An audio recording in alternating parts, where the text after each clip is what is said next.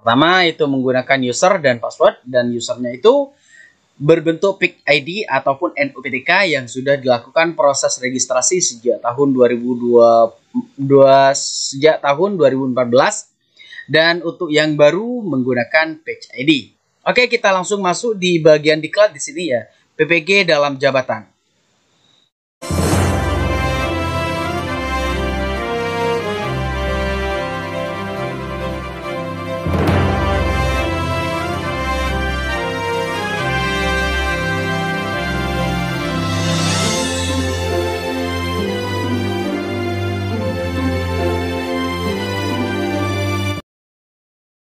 Assalamualaikum warahmatullahi wabarakatuh. Selamat datang di channel operator pendidikan official yang mana pada kesempatan kali ini saya akan membuat tutorial tentang pendaftaran peserta PPG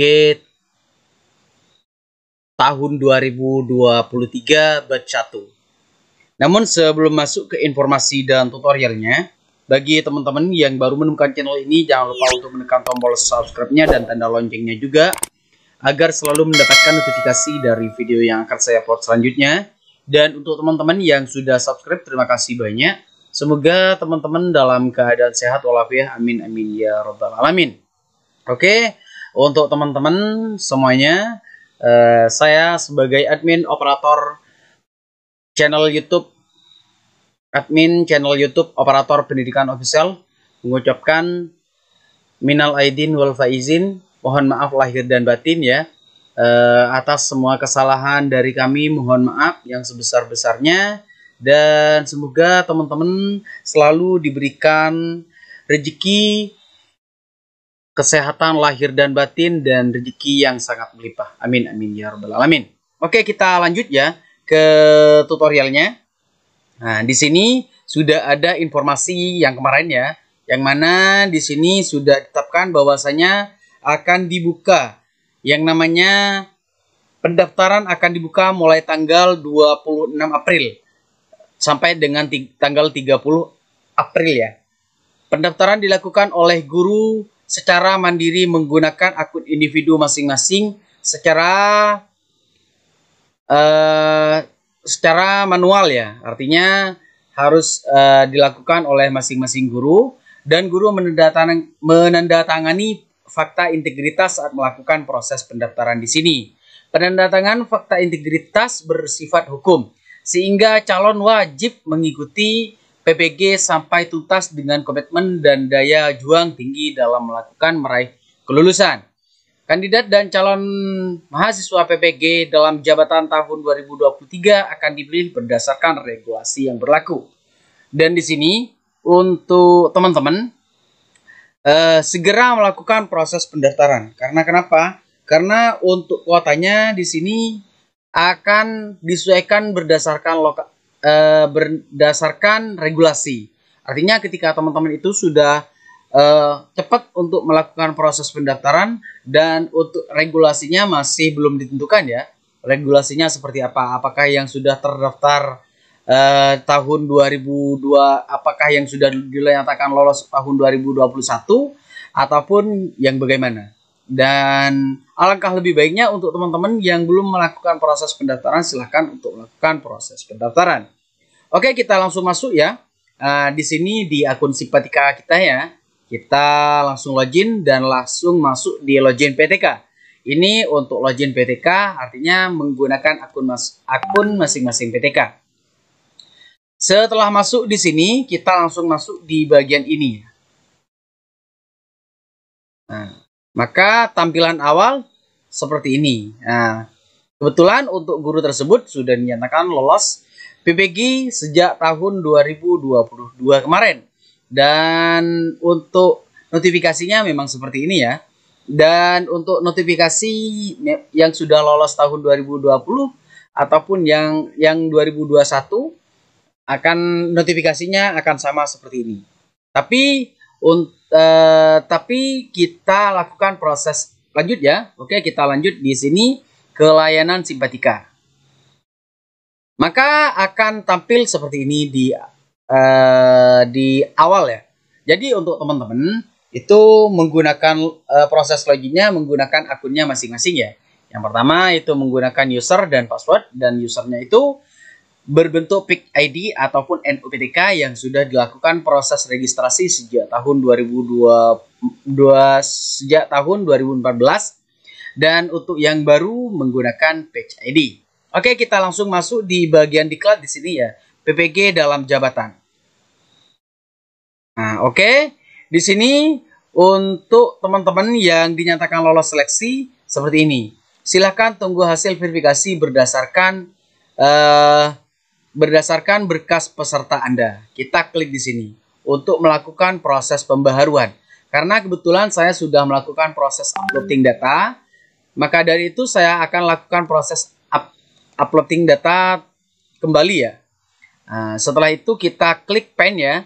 Ketika teman-teman itu melakukan proses kesalahan ataupun ada data apa? Ada data yang belum tertanda tangani atau di, belum dikasih mas try, itu teman-teman itu bisa melakukan hal ini ya, uh, menekan tombol pennya di sini.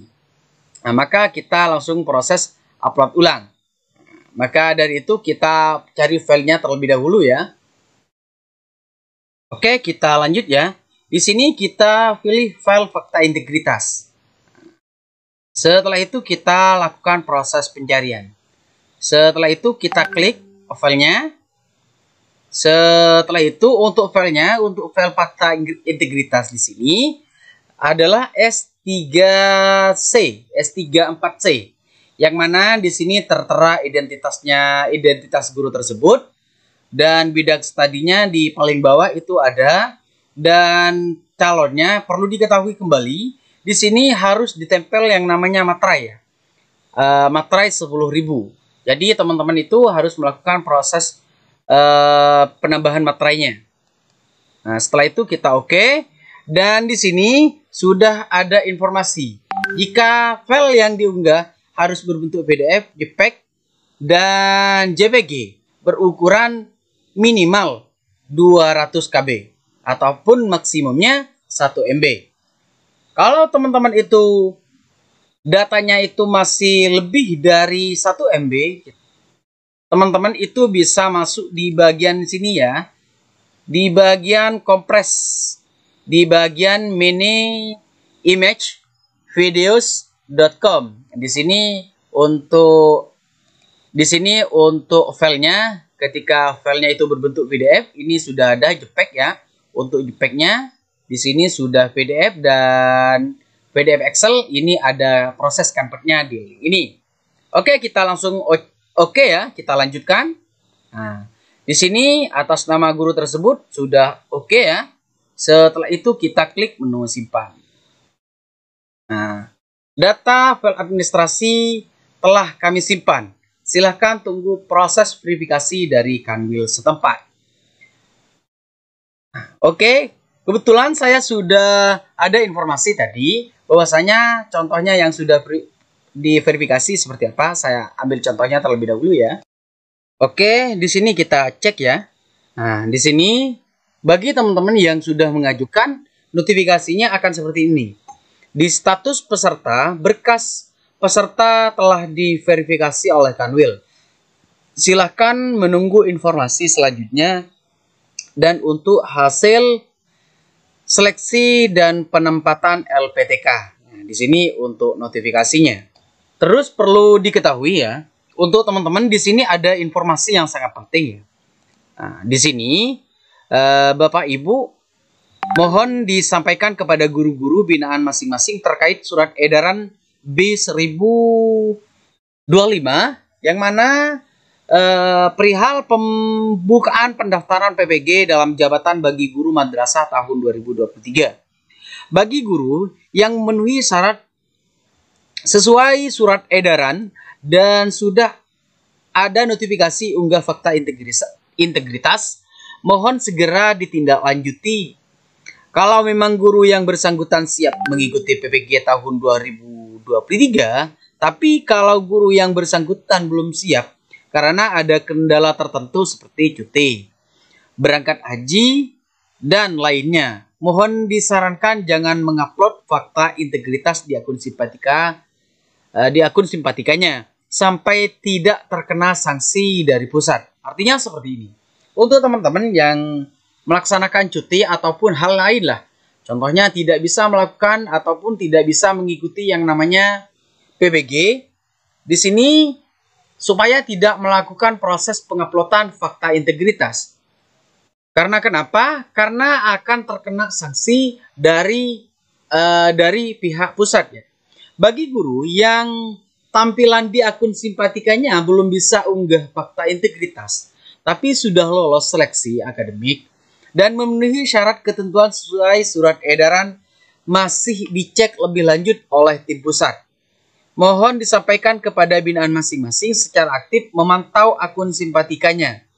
Apabila muncul upload fakta integritas artinya guru yang bersang bersangkutan masuk dalam kandidat PPG tahun ini tapi apabila sampai batas akhir sampai tanggal 30 April belum muncul, artinya guru yang bersangkutan belum masuk dalam kandidat kandidat PPG di tahun ini. Artinya guru yang e, bersabarlah karena dalam masih sekarang itu masih dalam ter, tahap pengecekan. Artinya dalam seleksi data lah di intinya di dalamnya.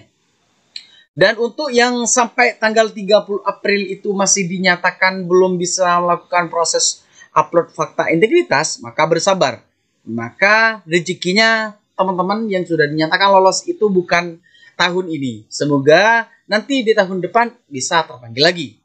Bagi yang sudah upload fakta integritas di akun simpatikanya, artinya guru yang bersangkutan sudah siap mengikuti PPG tahun 2023 sampai tuntas. Jadi kalau misalnya ada guru yang belum siap, jangan dipaksakan karena nanti berakibat di blacklist oleh pusat.